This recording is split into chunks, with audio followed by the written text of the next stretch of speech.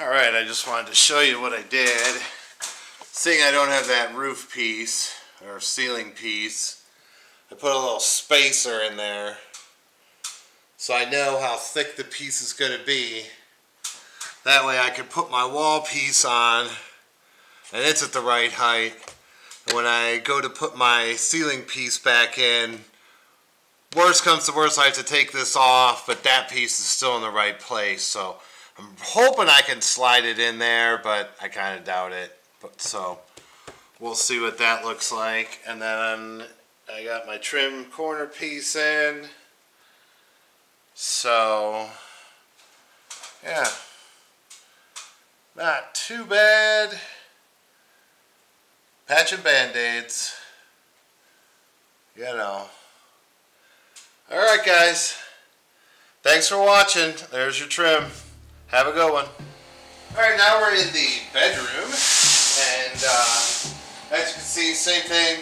Trim on the top and back there. I got some stuff to move, but uh, should go pretty quick.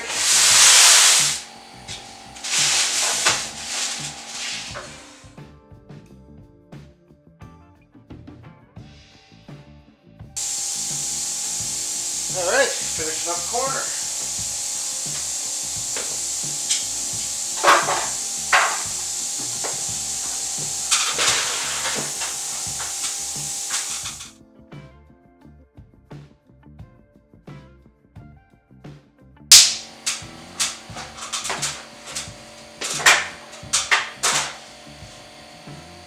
So that's trim and bunkhouse. I'm going to move back out front. We're going to do some uh, floor moldings.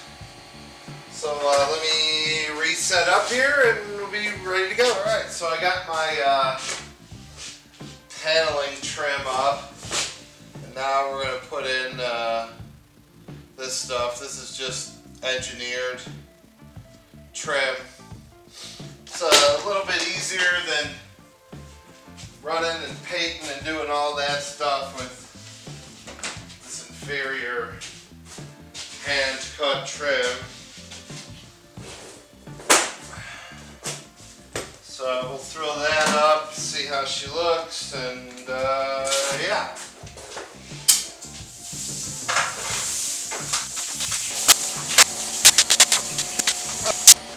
Let me show you what I got. See the both trim pieces and then the new stuff. Just sits in the corner. And uh, well not the best but it definitely covers up the bad wall spots and uh,